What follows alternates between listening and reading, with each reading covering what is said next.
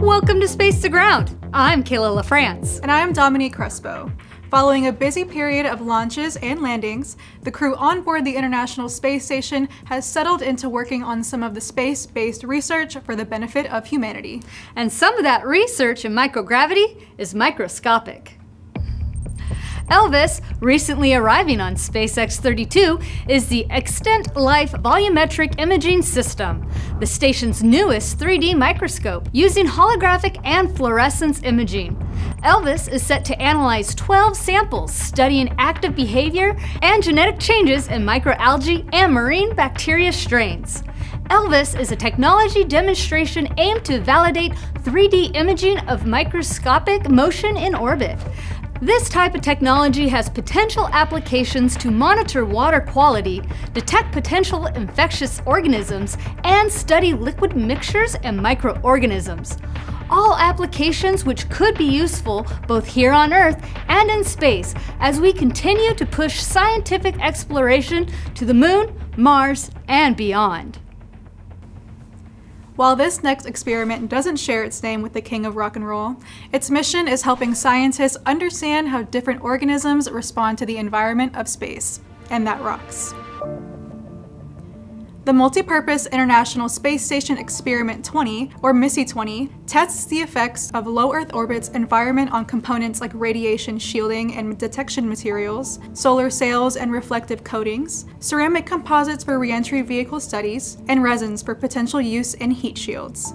MISSE 20 includes 11 experiments and samples, which will be retrieved from the MISSE platform after months on the exterior of the space station. These samples will further our understanding of how various materials respond to ultraviolet radiation, atomic oxygen, charged particles, and the other factors in the vacuum of space. It is amazing how much research the crews aboard the orbiting laboratory are able to accomplish from day to day, all while being in orbit 250 miles above the Earth's surface. But the science does not stay within the confines of the pressurized environment. In fact, the space station's unique position above the Earth allows for science data to be continuously collected. The space station serves as our eye in the sky, observing our planet below. Equipped with cameras and sensors, it regularly collects imagery and data on geology, temperature, weather, and other natural factors. Be sure to check out this week's Houston We Have a Podcast, where we talk about how NASA uses the imagery and data collected from the space station to better understand extreme weather patterns and help those affected by natural disasters. And for this week, that's Space to Ground. But before we go, you gotta see this. Last week, NASA astronauts Anne McClain and Nicole Ayers ventured outside of the space station and completed a nearly six hour spacewalk. This was McClain's third spacewalk and Ayers' first.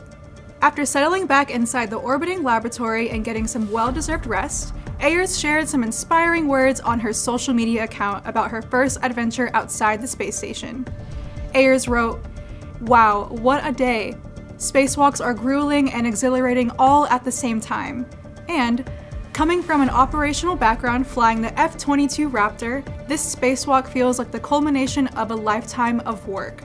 Having been at the tip of the spear in the Raptor, I think the only thing that tops it is a spacewalk. Such an incredible experience. What was also incredible was some of the images shared, including that spacewalk selfie. Absolutely. You can keep up with the crew on station as well as the science by following us on social media at space underscore station and at ISS underscore research. Thank you so much for watching.